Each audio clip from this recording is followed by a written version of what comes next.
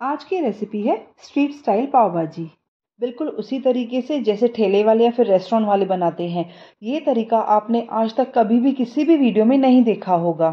सिर्फ़ पंद्रह मिनट में बनने वाली पाव भाजी जैसे ठेले वाले बनाते हैं, ऐसे वीडियो को देखकर आप खुश हो जाएँगे और आपके ये बहुत काम आने वाला है। तो रेसिपी शुरू करते हैं। सबसे पहले सब्ज़ियाँ लेंगे। तो सब्जियों में हमें लेना है बीट रूट आलू, शिमला मिर्च फूल गोभी जिसे हमने गर्म पानी में धो के रखा है, गाजर और मटर। साथ में लेना है प्याज और टमाटर। तो यहाँ मैंने दो प्याज लिए हैं और उसके साथ चार टमाटर लेने हैं। अब सबसे पहले प्रेशर कुकर में थोड़ा सा तेल ऐड करेंगे, साथ में थोड़ा सा बटर ऐड कर देंगे और इसके साथ ऐड कर देना है प्याज। प्याज को हमें हाई फ्लेम पर लाइट गोल्डन होने तक पकाना है। तो प्याज लाइट गोल्डन हो गया है, अब हम इसमें ऐड करेंगे लाल मिर्च और पाव भाजी मसाला। दोनों मसालों को प्याज के साथ अच्छे से मिक्स कर दें। फिर इसमें ऐड कर दें सब सब्ज़ियाँ, जो भी हमने काट के रखी थी। मटर फूल गोभी तो सभी सब्जियों को हमें रफली ही चॉप करना है, बिल्कुल पतला नहीं काटना है। और साथ में ऐड कर देना है बीटरूट जिससे हमारी सब्ज़ी का कलर बढ़िया आएगा। शिमला मिर्च, गाजर, आलू, इन सभी सब्जियों को इसमें ऐड कर देना है।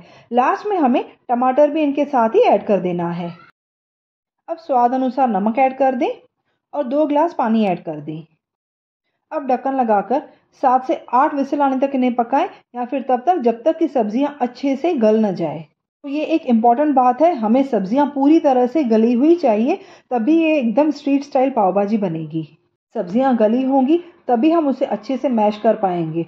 और इसलिए ही रेस्टोरेंट और स्ट्रीट स्टाइल पाव भाजी में यही फ़र्क होता है, उनकी सब्ज़ियाँ पूरी तरह से मैश की हुई रहती है। इसे मडलर से भी मैश करना है और फिर पाव भाजी मैशर से भी अच्छे से मैश करना है। अक्सर हम जो पाव भाजी बाज़ार से लेकर आते हैं या किसी रेस्टोरेंट में जाकर खाते हैं, वो 15 से 20 मिनट में हमें पूरी पाव भाजी तैयार करके देते हैं। तो वो किस तरह से ऐसे करते हैं, ये एक ट्रिक है जो मैं आपको आगे बताऊँगी। तो सब्जियों को अच्छे से मैश करने के बाद एक कढ़ाई लेंगे, उसमें तेल और बटर ऐड कर देंगे। साथ में दरदरी कुटी हुई अदरक और लहसुन की पेस्ट ऐड कर देनी है। अब लो फ्लेम पर इसे भुने जब तक इसका कच्चापन निकले। फिर इसमें बढ़िया कलर लाने के लिए हम इसमें ऐड करेंगे कश्मीरी लाल मिर्च। इसे ऐड करने के बाद हमें आर्टिफिशियल कलर यूज़ करने की ज़रूरत बिल्कुल नहीं पड़ेगी। साथ में हम ऐड कर देंगे हल्दी, धनिया पाउडर और पाव भाजी मसाला। पाव भाजी मसाला थोड़ी ज़्यादा क्वांटिटी में ऐड करेंगे।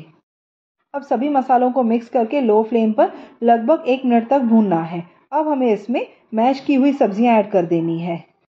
सब्जियों को मिक्स करने के बाद अगर आपको लगे कि इसे और थोड़ा मैश करना है तो फिर से इसे एक से दो मिनट के लिए मैश कर दें।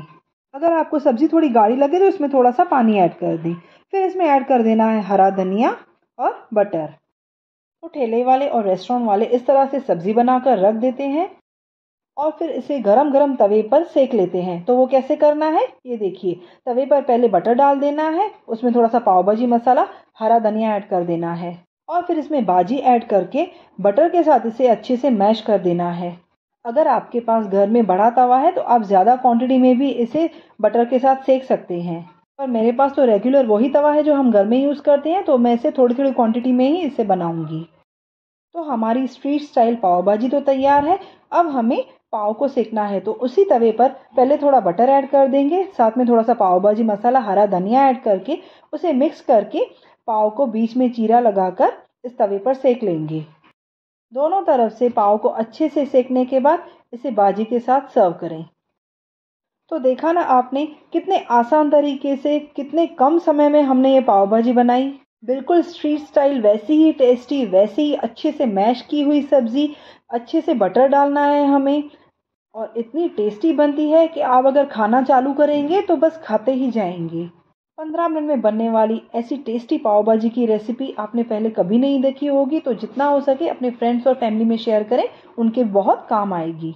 वीडियो को लाइक ज़रूर करें और मेरे चैनल को सब्सक्राइब करें।